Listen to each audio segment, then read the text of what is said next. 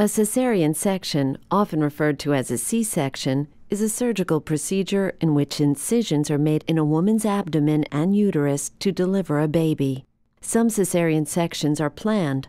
More often, however, the need for the procedure becomes apparent after the onset of labor when abnormal conditions make a vaginal delivery unsafe for the mother or her baby.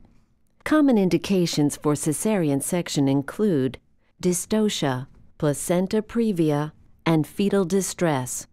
Dystocia, or prolonged non progressive labor, can occur when the baby's head is unable to fit through the birth canal or its body is in an unfavorable position, such as perpendicular to the birth canal or buttocks first, which is the breech position. Placenta previa occurs when a low lying placenta partially or completely blocks the cervical opening. Fetal distress occurs whenever the health of the baby is in imminent danger, usually from inadequate blood flow through the placenta or umbilical cord. Fetal distress can occur when the placenta separates from the wall of the uterus prior to delivery or the umbilical cord becomes compressed or squeezed.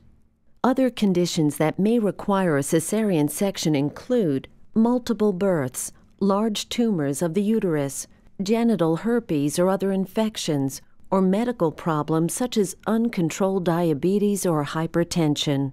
Your doctor may use ultrasound testing and a fetal heart monitor to help decide whether your baby should be delivered by cesarean. When a cesarean section becomes necessary, you will be prepped for surgery. If not already in place, an intravenous line will be started and a catheter will be inserted into your bladder to drain urine. In the operating room, you will be given anesthesia. In most cases, a spinal anesthetic is administered to numb the lower portion of your body. Sometimes, however, a general anesthetic will be used. Your doctor will begin by making an incision in your abdomen. It will either be a vertical incision from just below the navel to the top of the pubic bone, or more frequently, a horizontal incision across and just above the pubic bone. This is often called a bikini cut. Your doctor will then make a second incision on the lower part of the uterus. Once the uterus is opened, your doctor will rupture the amniotic sac if it is still intact and deliver the baby. The time from the initial abdominal incision to birth is typically five minutes. Your doctor will then clamp and cut the umbilical cord.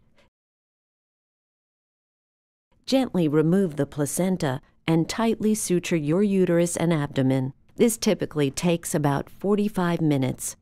The hospital stay after a cesarean section is usually three to five days. During this time, you will be encouraged to breastfeed, nap when the baby sleeps, and get out of bed often. While most patients are able to take care of their new baby soon after the procedure, full recovery may take six to eight weeks. Your scar will lighten as it heals.